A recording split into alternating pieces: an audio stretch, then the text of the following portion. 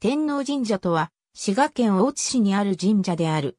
JR 和寺駅から南西へ約 1.1km に位置し、徒歩10分。龍下古市の沿道にある。古西道路和寺 IC から約5分。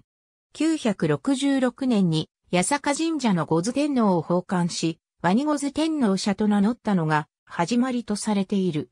創始は鎌倉後期と伝えられている。1876年に現在の名称になった。この時に孫社となる。本殿は1324年に建立されたもので、重要文化財に指定されている。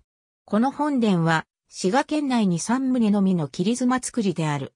切妻造りの母屋に後輩をつけた本殿が3棟、ある形式は全国的にも珍しい。創建当時の特徴として、カエル股の輪郭が残る。屋根は日和田吹きである。境内社として、樹花神社、三宮神社、若宮神社などの社殿が建てられ、江戸時代にワニソを形成していた村々の産砂神を祀っている。その他、境内には室町時代のものと考えられる石像宝刀や総統が残る。天皇神社の霊祭はワニ祭りと呼ばれ、五火祭と呼ぶこともある。和寺中を中心に南浜、中浜、北浜、今宿、高城の各地区出身の新役によって行われる。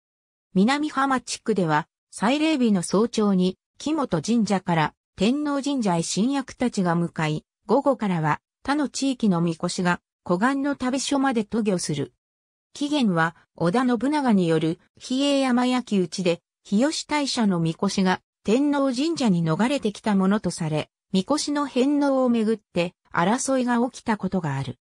かつては毎年5月8日に行われてきたが、現在では休日の都合から毎年5月第2日曜日に行われている。ありがとうございます。